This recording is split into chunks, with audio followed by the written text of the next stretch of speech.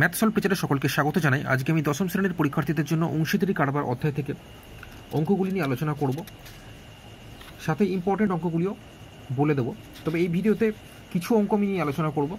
এরপর step by step পরের ভিডিওগুলিতে আলোচনা করতে থাকব।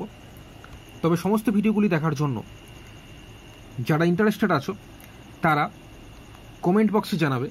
শুধুমাত্র তাদের জন্যই প্রতি মাসে একশো টাকা ফিসের পরিবর্তে সমস্ত ভিডিওগুলি দেওয়া হবে। ঠিক আছে? তো যাই হোক, আর কথা না বাড়ি শুরু করলাম। তো এখানে প্রথমে যে অঙ্কটি আছে পেজ নাম্বার দুশো দুই, অংশীদারি কারবার অর্ধেক কোষে থেকে চোদ্দোতে, কি আছে? আমি ও আমার বন্ধু মালা দুজনে যথাক্রমে পনেরো হাজার টাকা ও পঁচিশ হাজার টাকা মূলধন নিয়ে একটি ব্যবসা শুরু করলাম। এক বছরে ষোলো হাজার আটশো টাকা লাভ হলে হিসাব করে দেখি আমরা কে কত টাকা লভ্যাংশ পাবো। তো এখানে আমি ও মালার মূলধনের অনুপাত, আমি এখানে পনেরো হাজার টাকা দিয়েছিলাম আর মালা দিয়েছিল পঁচিশ হাজার টাকা। তো দুজনের মূলধনের অনুপাত পনেরো হাজার ইস্টু পঁচিশ হাজার যদি আমরা এখানে কাটাকুটি করি, তো এখানে পনেরো হাজারের এই তিনটে শূন্য কেটে যাবে, এখানে পঁচিশ হাজারের তিনটে শূন্য কেটে যাবে, পড়ে থাকবে পনেরো ইস্টু পঁচিশ। আবার পনেরোকে যদি আমি পনেরো আর পঁচিশ পাঁচ দিয়ে কাটাকুটি যাই পনেরোকে পাঁচ দিয়ে কাটলে তিন হয়, আর পঁচিশকে পাঁচ দিয়ে কাটলে পাঁচ পাঁচে পঁচিশে মানে থ্রি ইস্টু ফাইভ দাঁড়াচ্ছে আমি ও মালার মূলধনের অনুপাত, ঠিক আছে? মানে আমি শুরু করেছিলাম পনেরো হাজার টাকা ব্যবসা, আর মালা শুরু করেছিল পঁচিশ হাজার টাকা মূলধন নিয়ে। তো দুজনে ব্যবসাটা শুরু করেছিলাম।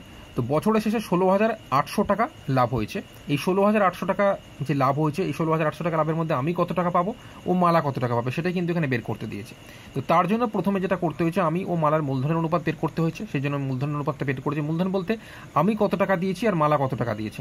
তো আমি এখানে পনেরো হাজার টাকা দিয়েছি, মালা দিয়েছি পঁচিশ হাজার টাকা, তো রেশিও করলাম থ্রি টু ফাইভ হলো এবার এই যে ষোলো হাজার আটশো টাকা লাভ হয়েছে ষোলো হাজার আটশো টাকা লাভের মধ্যে আমি লভ্যাংশ পাবো। লভ্যাংশ বলতে আমি এই ষোলো হাজার আটশো টাকা লাভের মধ্যে কত অংশ পাবো, সেটাই কিন্তু এখানে বের করতে দিয়েছে। তো আমি লভ্যাংশ পাবো ষোলো হাজার আটশো গুণ, এই যে আমি বলতে কিন্তু প্রথমেরটা তিন, কারণ আমি বলতে এখানে মূলধনের অনুপাতে তিন রয়েছে।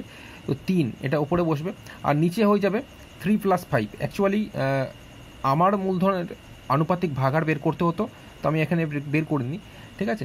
তো আমি লভ্যাংশ পাবো এখানে ষোলো হাজার আটশো টাকার মধ্যে টোটাল এখানে অনুপাত কত মানে আমিও মালা মিলিয়ে তিন আর পাঁচ যোগ করলে আট। আটের মধ্যে আমি কত পাচ্ছি? তিন, ওই জন্য থ্রি প্লাস ফাইভ করেছি আমি। তো থ্রি প্লাস ফাইভ মানে আট হয়। আটের মধ্যে আমি পাচ্ছি কত তিন? তাহলে ষোলো হাজার আটশো টাকা লাভের মধ্যে কত পাচ্ছি? তাহলে ষোলো হাজার আটশো গুণ তিন বাই আট। এটা কাটাকুটি করেছে, আট দিয়ে ষোলো হাজার আটশোকে কাটলে একুশশো হয়েছে। এবং একুশশোকে যদি আমরা তিন দিয়ে গুণ করি, তাহলে ছ হাজার তিনশো টাকা হয়। একইভাবে মালা লভ্যাংশ পাবে এই ষোলো হাজার আটশো টাকার মধ্যে ষোলো হাজার আটশো টাকার মধ্যে মালা বলতে পরে যে পাঁচ আছে পাঁচকে লিখেছি। বাই থ্রি প্লাস ফাইভ মানে আটের মধ্যে পাঁচ হচ্ছে, তো এখানে একুশশো টাকা পাচ্ছি। কাটাকুটি করলে আট দিয়ে ষোলো হাজার আটশো কাটলে একুশশো একুশের সঙ্গে পাঁচ গুণ করলে দশ হাজার পাঁচশো টাকা। তাহলে ষোলো হাজার আটশো টাকা লাভের মধ্যে আমি লভ্যাংশ পাচ্ছি ছ হাজার তিনশো টাকা, মালা লভ্যাংশ পাচ্ছি দশ হাজার পাঁচশো টাকা। এই দশ হাজার পাঁচশো ছ হাজার তিনশো যদি যোগ করো তোমরা, দেখবে ষোলো হাজার আটশো টাকায় কিন্তু হচ্ছে। তো বোঝা গেছে, আশা করি কী বললাম? চলে যাব নেক্সট অঙ্ক। নেক্সট অঙ্ক কী বলেছে? Question number two Priyam, Supriya ও বুলু যথাক্রমে পনেরো হাজার টাকা, দশ হাজার টাকা এবং পঁচিশ হাজার টাকা দিয়ে একটি ছোট মুদির দোকান খুললো। কিন্তু বৎসরান্তে তিরিশ হাজার টাকা সরি তিন হাজার টাকা লোকসান হলো। আগেরটা যেমন লাভ হয়েছিল এখানে এরা যে ব্যবসা করেছে, সেখানে তিন হাজার টাকা লোকসান হয়েছে। কাকে কত টাকা লোকসানের পরিমাণ দিতে হবে হিসাব করে লিখি। অর্থাৎ এরা তিনজন মিলে ব্যবসা করেছে ব্যবসা করেছে মানেই যে লাভ হবে এমন কোনো কথা নেই, লোকসানও হতে পারে। আগেরটা যেমন লাভ হয়েছিল বাট এখানে লোকসান হয়েছে, তিন হাজার টাকা লোকসান হয়েছে, দেখতে পাচ্ছি। তো এই যে তিন হাজার টাকা লোকসান হয়ে গেছে, তাহলে কাকে কত টাকা লোকসানের পরিমাণ দিতে হবে? প্রিয়মকে কত দিতে হবে? সুপ্রিয়াকে কত দিতে হবে? এবং বুলু। তো আগের মতোই আমরা প্রিয়ম সুপ্রিয়া এবং বুলু, এই যে টাকাটা দিয়েছে, এই যে মূলধন মানে পনেরো হাজার টাকা প্রিয়ম দিয়েছে, সুপ্রিয়া দিয়েছে দশ হাজার টাকা, আর বুলু দিয়েছে পঁচিশ হাজার টাকা। এদের তিনজনের ফার্স্ট মূলধনের অনুপাত আমরা বার করব। সেই মূলধনের অনুপাত বার করার পর তিন হাজার টাকা লোকসানের মধ্যে আলাদা আলাদাভাবে আমরা ঠিক আগের মতো প্রিয়মকে কত টাকা দিতে হবে, সুপ্রিয়াকে কত টাকা দিতে হবে, বুলুকে কত টাকা দিতে হবে আমরা বের করতে পারব। ঠিক আছে? তো সেটাই দেখব। তো আমরা সেটাই করেছি। এখানে প্রিয়ম, সুপ্রিয়া ও বুলুর মূলধনের অনুপাত। প্রিয়ম দিয়েছিল পনেরো হাজার, তাই পনেরো হাজার লিখেছি ইস্টু সুপ্রিয়া দিয়েছে দশ হাজার।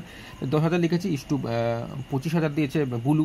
তো এদের যদি আমরা ইস্যু করি, পনেরো হাজারের এই তিনটে শূন্য, দশ হাজারের তিনটে শূন্য, পঁচিশ হাজারের তিনটে শূন্য কেটে যাবে। আমার পরে থাকবে পনেরো ইস্টু দশ ইস্টু পঁচিশ।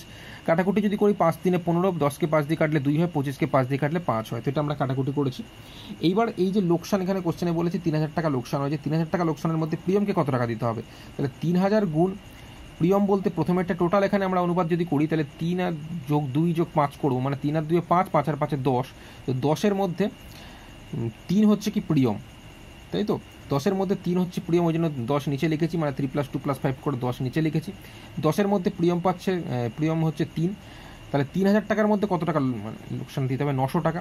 একইভাবে সুপ্রিয়ারটাও আমরা করেছি, তিন হাজার গুণ দুই বাই টোটাল হচ্ছে দশ। কাটাকুটি করলে শূন্য শূন্য কেটে যাচ্ছে, তিনশো দুগুণে ছশো টাকা।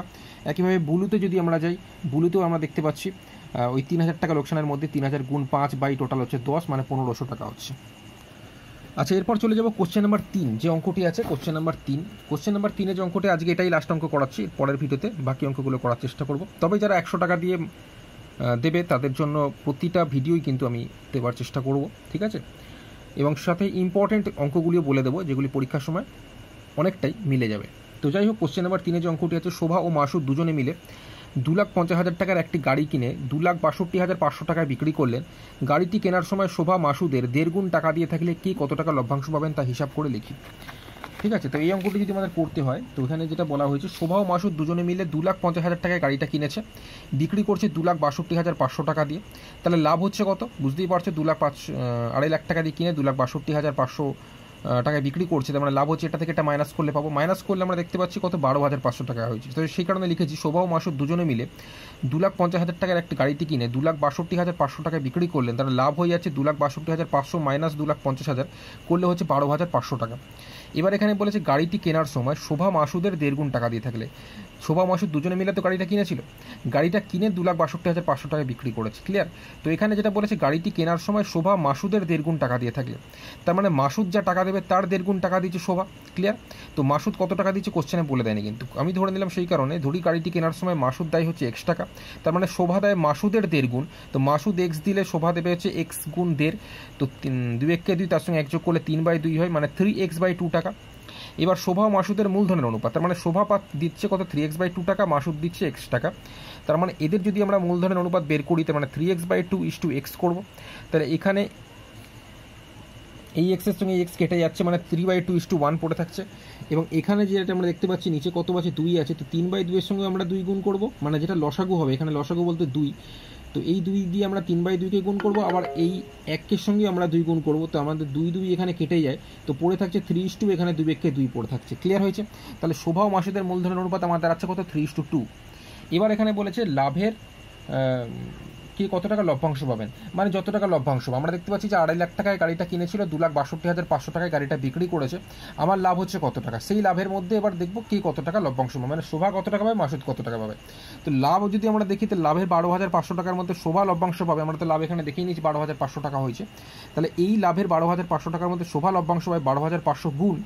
শোভা বলতে এখানে প্রথমে যে তিন আছে, সেই তিনকে আমরা লিখব। আর টোটাল যে অনুপাত মানে যোগ করলে, সেটা হচ্ছে three plus two three plus two করলে কত হচ্ছে? পাঁচ। কাটাকুটি করলে এখানে পাঁচ দিয়ে বারো হাজার পাঁচশোকে কাটলে পঁচিশশো হয়। পঁচিশশো তিনে গুণ করলে সাত হাজার পাঁচশো টাকা। ক্লিয়ার এবং মাসুদ লভ্যাংশ পাবে এই বারো হাজার পাঁচশো গুণ হচ্ছে দুই বাই, আমরা থ্রি প্লাস টু করব। পাঁচ হচ্ছে পাঁচ দিয়ে বারো হাজার পাঁচশোকে কাটলে হচ্ছে পঁচিশশো হয়। পঁচিশশো দুগুণে পাঁচ হাজার টাকা। তো ক্লিয়ার এটা? তাহলে শোভা পাচ্ছে কত টাকা? সাত হাজার পাঁচশো টাকা, মাসুদ পাচ্ছে কত? পাঁচ হাজার টাকা। তো আশা করি বোঝানো গেল। ঠিক আছে? মাসুদ লভ্যাংশ পাবে ঠিক আছে, তো ব্যাস আজকে এই পর্যন্তই। ভিডিওটি ভালো লেগে থাকলে অবশ্যই ভিডিওটি লাইক করবে, প্রচুর প্রচুর পরিমাণে বিভিন্ন এডুকেশনাল গ্রুপে শেয়ার করবে যাতে অন্যরা উপকৃত হতে পারে। আর প্রতিটি ভিডিও পাওয়ার জন্য মাসে মাত্র একশো টাকা নেওয়া হবে। যদি একশো টাকা তোমরা দিতে পারো, তাহলে প্রতিটি ভিডিও আমি তোমাদের সঙ্গে শেয়ার করব। ঠিক আছে, তো দেখাবে পরের ভিডিওতে ধন্যবাদ।